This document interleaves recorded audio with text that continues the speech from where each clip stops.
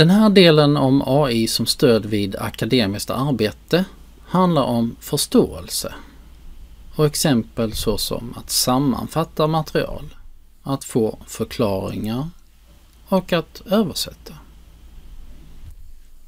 1. Sammanfatta artiklar och rapporter för snabb överblick.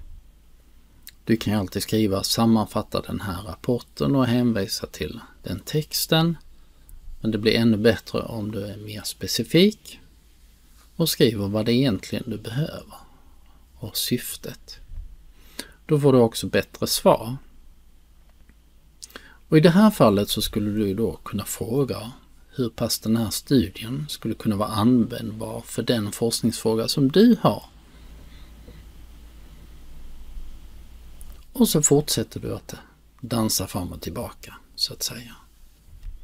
2. Få förklaringar av komplexa begrepp och termer.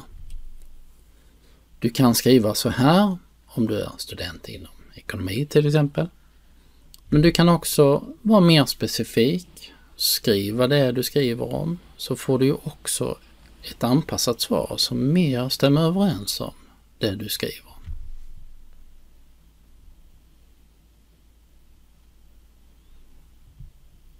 Och där kan du ju fortsätta och fråga till exempel hur den här Philips-kurvan, vad den har för relevans idag och så vidare.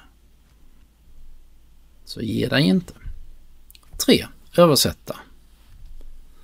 Här är det ju bara att skriva vilken, eh, vilket språk du vill översätta till och sen så ge texten. Och översättningarna blir oftast väldigt bra.